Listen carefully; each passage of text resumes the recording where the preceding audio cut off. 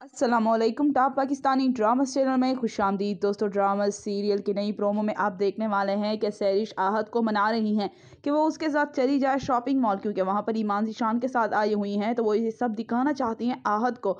اور جب آہد اپنی آنکھوں سے دیکھے گا تو پھر اس کے لیے یقین کرنا مشکل نہیں رہے گا، بس وہ یقین کر لے گا۔ اور آہد تو ویسے بھی کانوں کا کچا ہے جو سیرش کی باتوں کا یقین کر رہا ہے۔ پھر سیرش ان سے کچھ ایسی باتیں کہتی ہیں جس کی وجہ سے آہد اس کے ساتھ چل دیتا ہے کیونکہ سیرش کہتی ہے کہ تمہیں اپنے بیبی کے لیے شاپنگ کر لینی چاہیے کیونکہ اس سے بابا خوش ہو جائیں گے۔ اور کیا آپ نہیں چاہتے کہ آپ کے بابا خوش ہو جائیں؟